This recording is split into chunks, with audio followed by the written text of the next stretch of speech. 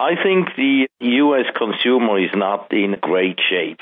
We do see a rising real income, but we see that spending growth is even higher, and as a result, the savings rate has dropped to a multi-year low recently. That is not the precondition for a sustainable extension or advance of the economy. I really think that the U.S. economy is tired and the tax stimulus, if it comes, and I think we will see something, may extend the by another year or so, but I do expect that 19 and 20 will be a window for recession.